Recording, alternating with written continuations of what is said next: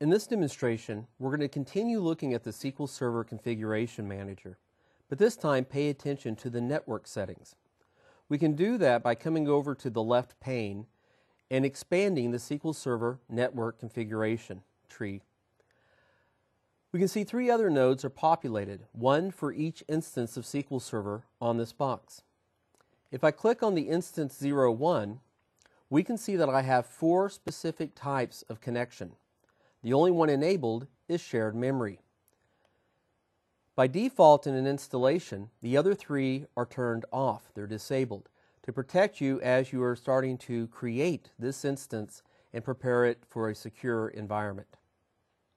If we come down to the TCP IP, do a right mouse click, I could enable it.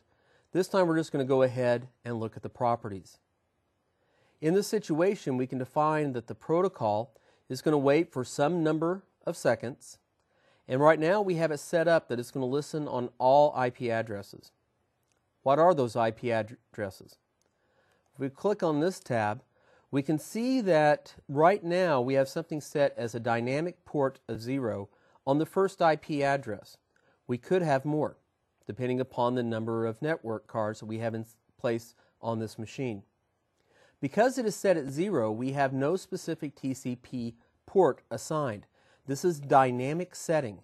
This allows the capability of keeping someone who would know the port number from being able to provide a security attack.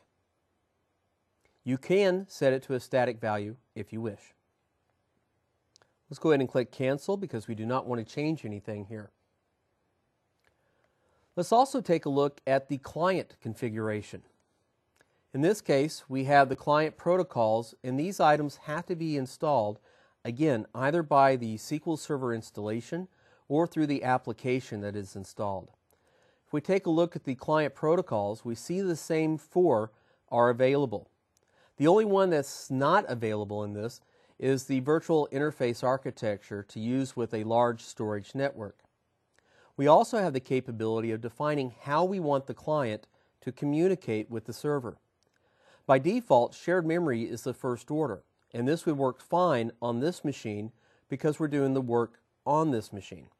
However, if we were in a situation where we really wanted our TCP IP to be set as the first approach of going out onto the network, we can go into its order and be able to move items around. So you can see that we have some disabled protocols and we can be moving the named pipes if we needed to. Or, in this case, I could disable the shared memory so that the first approach is always TCP IP from the client itself. Aliases can also be put in place to assist working with something called the SQL browser.